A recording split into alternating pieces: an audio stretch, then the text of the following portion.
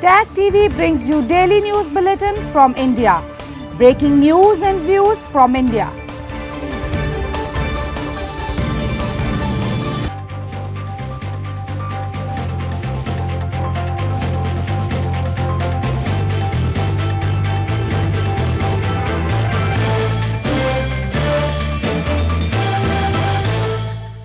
Good evening. Welcome to South Asia Newsline. I'm Surbhi Sharma. Here are the top stories we're tracking for you on Thursday, the 5th of December. India's central bank keeps the repo rate unchanged, revises GDP forecast. Pakistan asks UK to return Nawaz Sharif after treatment is over. And US envoy Khalilzad in Afghanistan to revive peace talks.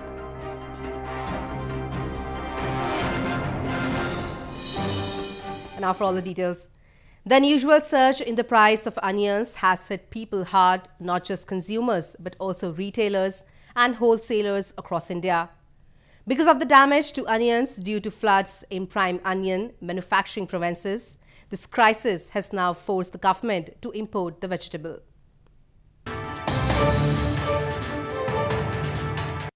The skyrocketing prices of onions post monsoon crisis across India has made the vegetable out of reach of the common man, leaving them with no choice but to limit the consumption of the staple food.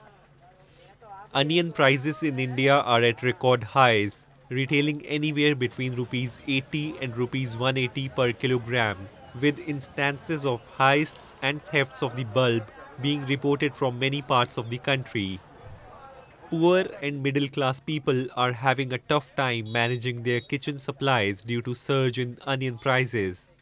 जी, आज मंडी आए हैं market आए हैं सब्ज़ी खरीदने के लिए, लेकिन हिम्मत नहीं पड़ रही प्याज के रेट देखते हुए कि इसको लेके जाएँ कि ना लेके जाएँ कारण क्या है कि आज हर गरीब आदमी या जो मध्यस्थ है, या जो अमीर आदमी है, वो इस चीज़ से परेशान है कि सब्जियों के रेट इतने ज़्यादा बढ़े हुए हैं, खास करके प्याज के Despite the export ban enacted in September to keep domestic supply inside India, prices have surged, especially in Maharashtra, the country's biggest producer.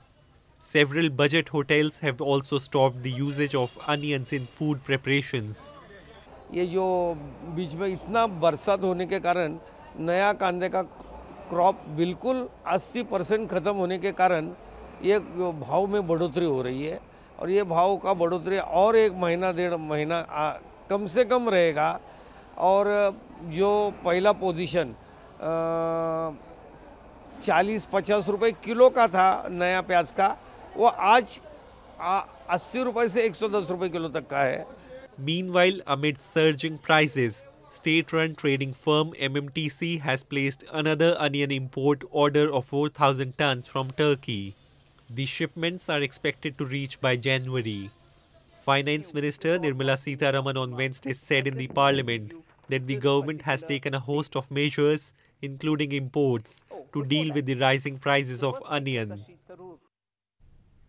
In a surprise move, India's central bank on Thursday kept the interest rates unchanged but revised gross domestic product growth projection to 5% from 6.1% for the current financial year 2019-20.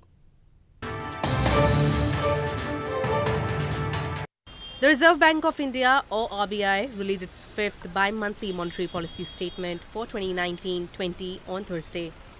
The six-member Monetary Policy Committee, led by RBI Governor Shaktikanta Das, decided to keep the policy repo rate, the rate at which it lends to commercial banks, unchanged at 5.15%.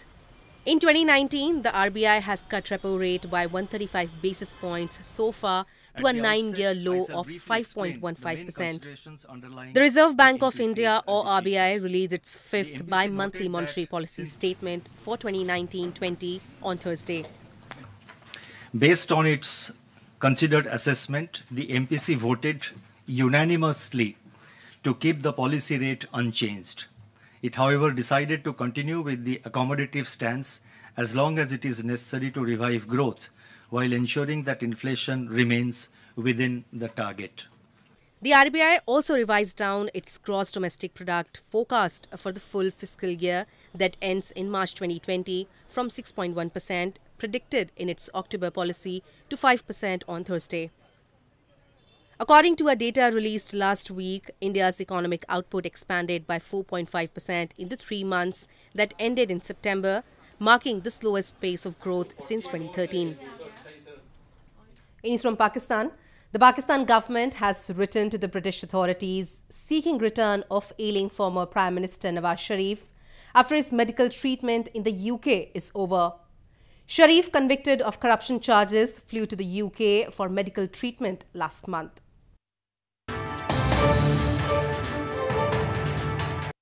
Pakistan has written to the British government seeking the return of ailing former Prime Minister Nawaz Sharif after his medical treatment in the UK is over. A leading Pakistani news channel ARY News on Tuesday disclosed the news. The government letter to the authorities in the UK reportedly said that Sharif is facing scores of charges in several cases in Pakistan and is also convicted in a case. 69 year old Sharif had left for London in an air ambulance via Doha on November 19 for medical treatment after the Lahore High Court allowed him to travel abroad for four weeks. He has been diagnosed with an immune system disorder. A two member bench had ordered the federal government to remove the former premier's name from the exit control list without placing any conditions. Sharif was accompanied by his younger brother Shahbaz Sharif and personal physician. Meanwhile, in the latest, Pakistan's anti-graft watchdog on Tuesday froze the properties of Pakistan Muslim League Nawaz President Shahbaz Sharif and his two sons in different cities citing corruption charges. Moving on, the Awami Action Committee has called for abolition of the newly proposed Land Reforms Commission by Pakistan in Gilgit-Baltistan. They termed it as another move by Islamabad to grab lands of the common public in the illegally occupied territory. Members of Awami Action Committee have called for abolition of Pakistan government's newly proposed Land Reforms Commission in Gilgit-Baltistan. They blamed Pakistan for illegal land acquisition over the years in Gilgit Baltistan and termed the move as a new tool to grab lands owned by the common public. While expressing concern that the plan will be soon discussed in the assembly, the activists warned massive protest if the administration continues with so-called land reforms in the illegally occupied territory. खालिस सरकार की शक्ल में land reform commission की शक्ल में ज़मीन को या हथिया लेना जो है ना ये आवाम की मलकियत के ऊपर शफून मारने के बराबर है, जिससे अवाम एक्शन कमेटी किसी सूरत कबूल करने के लिए तैयार नहीं होगी चाहे उसके लिए हमें धरने लगाने पड़े, आवाम को सड़कों पर निकालना पड़े, इस्लामाबाद की तरफ़ मार्च करना पड़े, जो कुछ भी करना पड़ेगा, हम इस सिलसिले में जो है ना कमिटेड हैं और हम करेंगे Pakistan government had earlier acquired swathes of land in Gilgit-Baltistan for the construction of multi-billion China-Pakistan Economic Corridor, or CPEC project.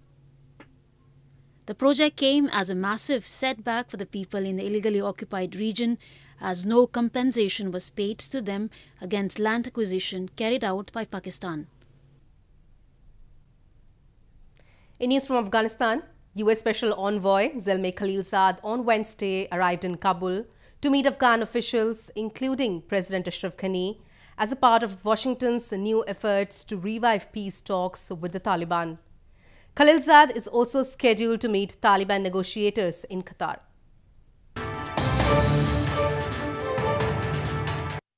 US Special Envoy Zalmay Khalilzad on Wednesday arrived in Kabul to meet Afghan President Ashraf Ghani and other senior officials as part of a new efforts to revive peace talks with the Taliban.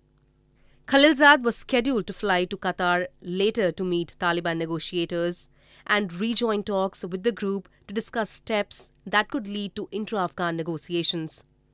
The special envoy's visit to Kabul came days after US President Donald Trump visited American troops in Afghanistan for the Thanksgiving holiday and raised hopes for a revival of peace agreement with the Taliban, which he halted in September.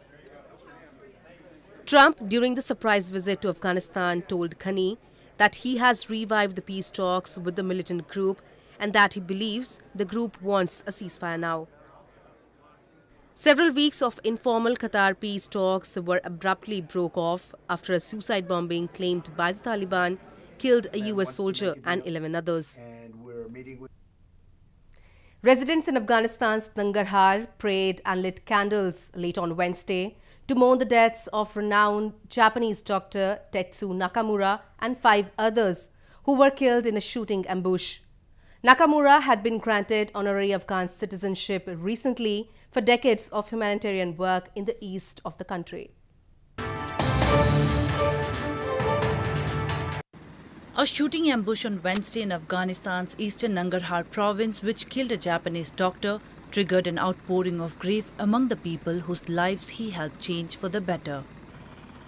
Tetsu Nakamura, head of Peace Japan Medical Services, and five others were shot dead on Wednesday after their NGO vehicle was attacked by unknown gunmen. Residents in Nangarhar's Jalalabad gathered late in the evening and prayed and lit candles for the attack victims. Nakamura had been involved in rebuilding Afghan irrigation and agriculture and had been granted honorary Afghan citizenship recently for decades of humanitarian work in the east of the country. دا ډیره غټه کمیزه ده موږ د دې احسانمن یو او دا به همیشه د مشرقي د ولسونو ولسونو په لسګونو یا په سلګونو کالونو به د مشرقي د خلکو په ذهن کې او په روح کې دا د دې کورنۍ ته تسلیت غواړو The ambush came a week after a grenade attack on a United Nations vehicle in Kabul heightened fears for those doing humanitarian work amid one of the world's longest running conflicts.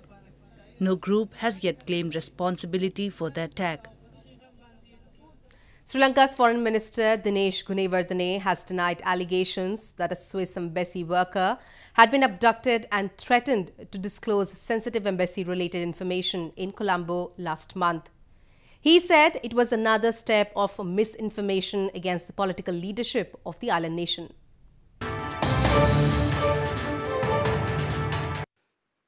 Sri Lanka's Foreign Minister Dinesh Gunawardena on Wednesday denied a Swiss embassy worker had been abducted in the country, saying it was another step of misinformation. The Swiss embassy said in a statement that the worker who has had her travel abroad restricted until December 9 alleged she was abducted and threatened to disclose sensitive embassy related information on November 25. Speaking at a news conference in Colombo, the Sri Lankan foreign minister said that there was little truth in the allegation. Most of the uh, matters mentioned by the embassy and the officials have been uh, properly uh, checked by the police and we feel, and we have explained to the ambassador, that they have uh, very little truth in the main allegation.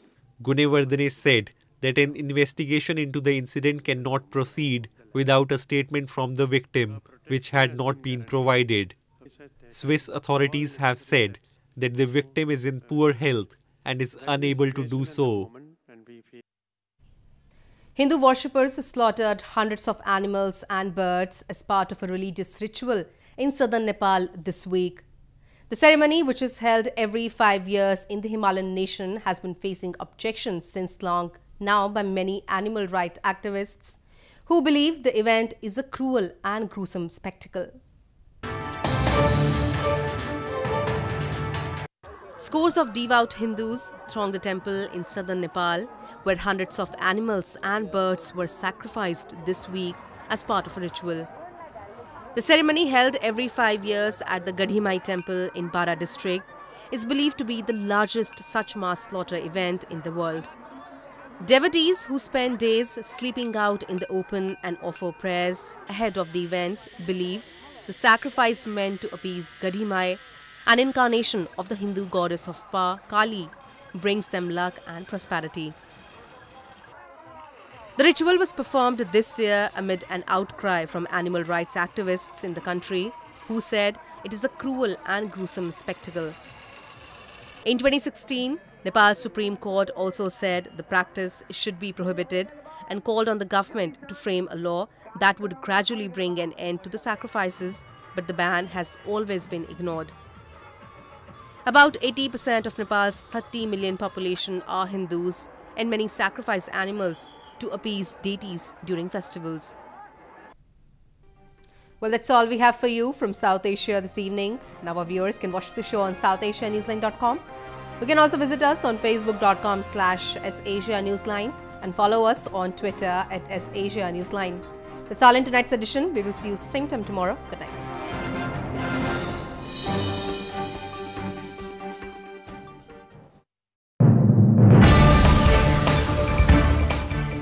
TV brings you daily news bulletin from India. Breaking news and views from India.